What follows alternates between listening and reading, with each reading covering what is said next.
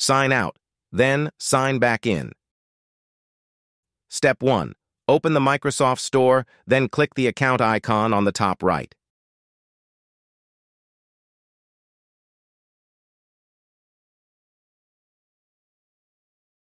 Step 2. Select Sign Out, close the app, and restart your computer. Step 3. Launch the Microsoft Store app, log in, then play Minecraft. Think about the account. You have a couple of Microsoft accounts? In that case, you should sign out of the current account and sign into others. If you could play Minecraft in one of the accounts, remember that account and sign into it every time you want to play the game. Bye.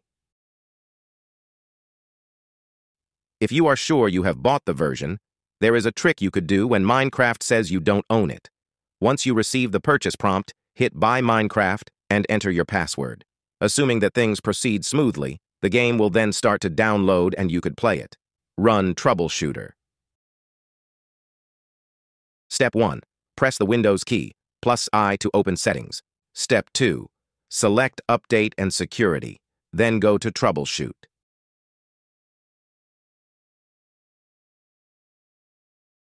Step 3. Pick additional troubleshooters, then choose Windows Store apps.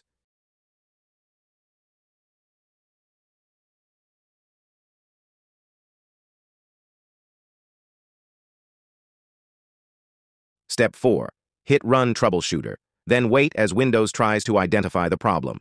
Step 5. Once the problem has been identified, click Apply this fix. Step 6. Restart your computer, Reset store cache. Step 1. Close the Microsoft Store, then press the Windows key plus R to open Run. Step 2. Type wsreset.exe, then hit Enter to start the reset. Step 3. Once the reset is done, the store will open automatically. Logan then try downloading Minecraft again, uninstall and reinstall store. Step 1. Press Windows plus X key to open the Quick Link menu. Step 2. Choose Windows PowerShell, Admin, to open PowerShell with administrative privileges. Step 3. Run the command Get AppX Package, Windows Store.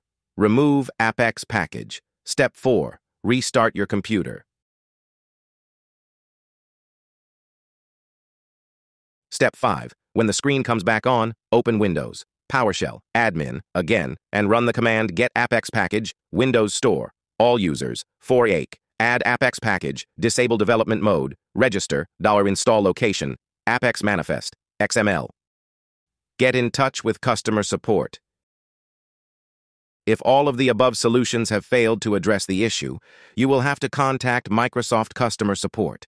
You can use the support button on their official website or contact them via their official social accounts.